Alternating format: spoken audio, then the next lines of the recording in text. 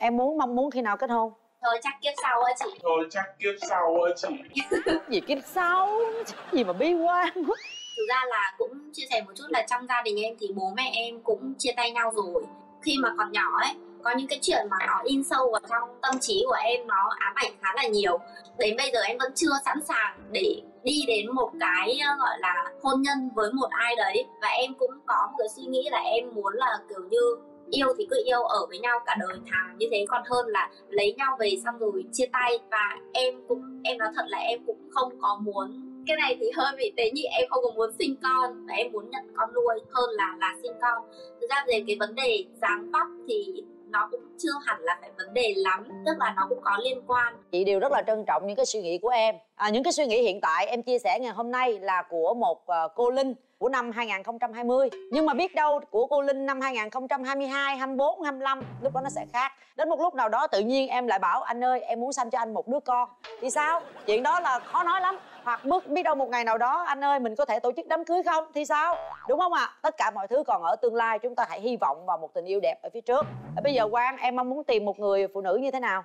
Ủi, ngày xưa chị ạ, lúc thời còn mới chập chững bước ra đường thì nằm suy nghĩ người yêu mình thế này thế kia nào là xinh đẹp các thứ, xong rồi lém lỉnh các thứ, rồi chút tinh nghịch các thứ này nọ, thi thoảng lại người lớn các thứ. Nhưng mà đến khi yêu chị nhá, đến khi gặp người mình thích nhá, tất cả những cái mình đặt ra ban đầu ấy nó nó nó bay đâu hết. Cảm giác chỉ cần là mình ở bên cạnh người ta, mình thấy nói chuyện vui vẻ này, thấy thoải mái này, thấy là chính mình này. Cảm giác chỉ cần ở cạnh người ta nói chuyện thôi đã thấy vui rồi. Và bắt đầu yêu người ta.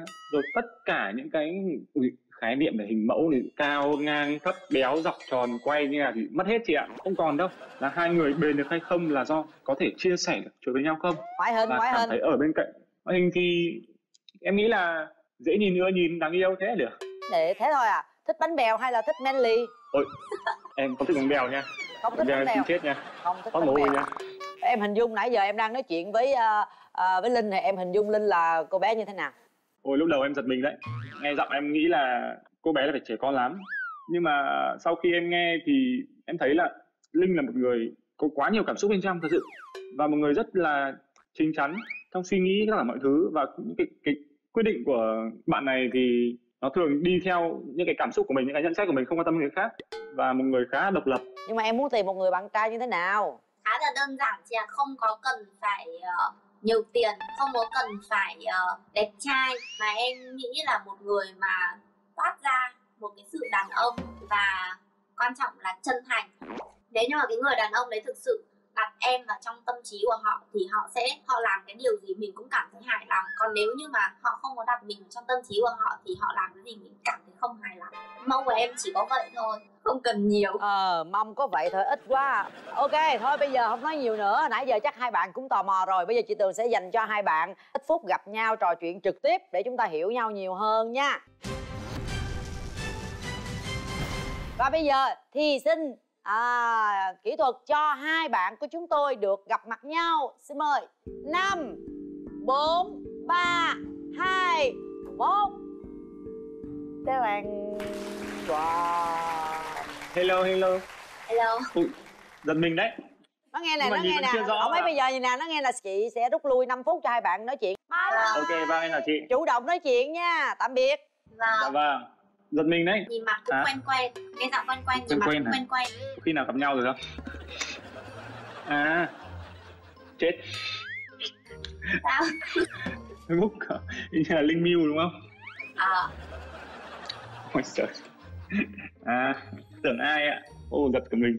Nhưng mà ở ở ngoài nghe giọng nó trẻ con hơn nhưng mà nhìn trên cam thì thấy chứng chứng chạc hơn các thứ hơn hẳn. Không giống như ở trên đấy. Bởi vì là lên hình lúc nào nhìn trông nó cũng kiểu già hơn to cao hơn. Nhưng mà chúng ta đã gặp nhau ở ngoài chưa? Hình như là chưa. Hoặc là có thể đi đâu đó giữa Hà Nội thì có thể gặp nhau rồi hoặc không nhớ thôi nhưng mà bây giờ cậu thử nghĩ lại xem nào. Thấy thấy quen quen đâu nào?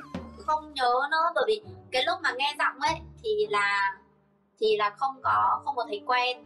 Nhưng mà nói chung là biết là kiểu giọng bắc thì nói chung là cũng được. Nhìn thấy tới đầu thì cậu cảm giác như kiểu như nào? Có giống cái mình tưởng tượng không? Nó giống đến khoảng tầm 80 90 phần trăm. Có nghĩa là trong cái tưởng tượng của Miu thì thì Quang um, chiều cao hơn thế. Cái tóc cũng vậy luôn nhưng mà cái mặt thì có vẻ là chững chạc hơn. Nhưng mà nhìn ở đây thì non hơn xíu non hơn xíu. Rồi bây giờ nè bây giờ mình phải ờ, đứng lên biểu diễn tài lẻ một chút xíu. Nam là người mẫu đúng không? Chắc chắn là phải đi một vòng catwalk cho tôi coi rồi. Nhưng mà chị ơi ơi. phần trên thì đẹp phần dưới không đẹp đâu chị ạ. Thì đó bởi vậy phần dưới không đẹp chị mới kêu đứng lên. Chắc là ở dưới đang mặc quần Đứng lên. đùi em. đang mặc quần đùi à? Nhanh thật. Vâng. Trời đất ơi. Nhá quay vòng đi nhá đây mặc quần đùi chị ạ đuôi đuôi chứ. Coi như em diễn catwalk mặc quần đùi cho chị cũng được như thường. Em đứng xa xa ra cho người ta thấy toàn thân coi. Đó đứng xa xa từ ngoài cái cửa là tôi thấy đó.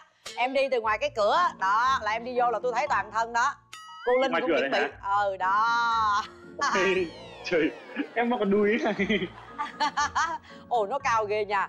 Được siêu mẫu tương lai. Rồi mình đi tới đi lui hai ba vòng coi nè. Hai ba âm nhạc. Trên trên trên trên trên trên trên trên rồi quay tạo dáng vô ờ quay lui. Rồi có mông đồ không? Ok được yeah. Qua trái. Ok. Qua trái đây. Đó ok qua phải. Rồi có xô nào bút xô bút luôn đi nha. Đó ok tạo dáng. Yeah siêu mẫu. Rồi được cũng đồng ý. Không có vấn đề gì. Rồi tới uh, linh. Đùi ạ. Chị ơi. Linh ơi ơi nhưng mà cái này nó hơi bị sexy nha đây là cái môn mà nó không nó chưa có thịnh hành lắm. Chị không cần biết chủ yếu là chị muốn thấy vóc dáng của em nghề nghiệp em em muốn làm gì đấy em làm nhún nhảy hát hò gì đấy tùy em. Ok một lần chơi lớn xem thiên hạ có trầm trồ. Chơi lớn luôn đi cưng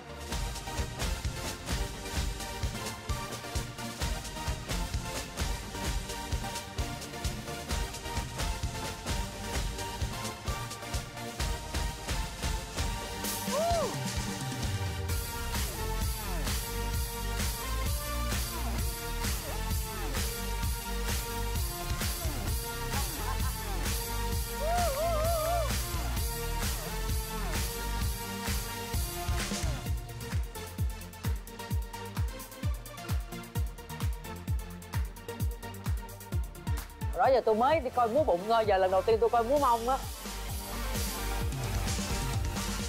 Quá tuyệt vời, quá điêu luyện.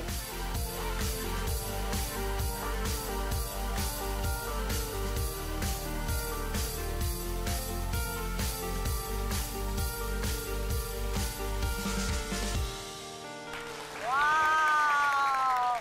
Sao sao sao sao? Phát biểu cảm nghĩ với phần trình diễn vừa rồi em khá là hơi bất ngờ đấy. Nãy giờ chị thấy em này bất gọi là ngờ hoài luôn á. Bay- belly dance đúng không nhỉ? Cái đó là múa bụng. trekking cái này múa mông chứ không phải múa bụng. Belly dance là múa bụng. À, rồi em nhầm em nhầm. Xuất sắc đấy chứ. Xuất sắc ha